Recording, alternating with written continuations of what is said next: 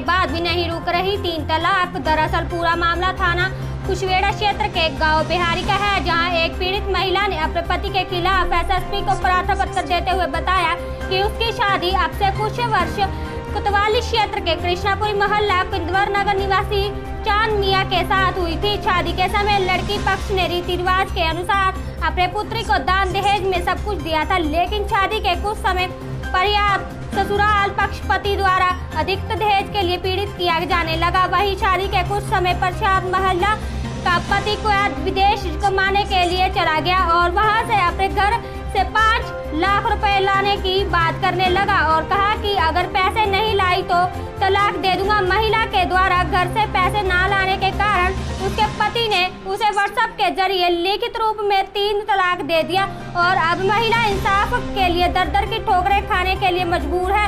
वहीं प्रदेश सरकार अभी हाल भी नहीं तीन तलाक पर एक बार। कहाँ के रहने वाले आप? गाँव बिहारी। कहाँ हुई थी आपकी शादी?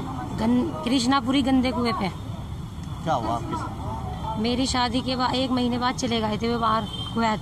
अच्छा। और तीसरा साल लग रहा उन्हें उन्होंने वहीं से मुझे तलाक लिख के भेज दी। कब हुई आठ जून। आठ जून को? जी। आप किसकी तारीफ़ दी जी दी है। क्या हुआ? फिर कुछ अभी कुछ कार्रवाई नहीं हुई। अभी तीन तलाक पे एक बिल पास किया है उसमें फिर भी महिलाओं का उत्पीड़न हो रहा है तो इस पर क्या कहना कुछ भी अभी कुछ भी सुनवाई नहीं हुई कुछ नहीं हुआ अभी। तो जो सरकार ने बिल पास किया उस पर फिर भी आपने तहरीर दी थी अपने थाने में? जी दी थी। कौन सा थाना लगता है आपके यहाँ? जी कोतवाली में दी थी। और, और ये लड़का जो रहने वाला है? ये मुजफ्फरनगर गंदे कुएँ का कृष्णापुरी। आप कहाँ रहने का है ना मामला? जी सिखेड़े का। अच्छा थाना सिकेड़ा लगता है आपके यहाँ? तो क्या आश्वासन दिया था? जी? वालों ने पुलिस वालों ने क्या आश्वासन दिया था आपको? कुछ भी नहीं कहते बस यूँ कहते हैं ऐसा होगा वैसा होगा। आज आप एस एस पी साहब से मिले क्या आश्वासन दिया एस एस पी साहब ने? उन्होंने कहा है कि अब हम इसकी कार्रवाई करेंगे। तो तीन तलाक आपको कैसे दिया उसने? व्हाट्सएप पे भेजा मेरे। अच्छा व्हाट्सएप पे दे दिया कि आप मैंने तलाक दे जी। दिया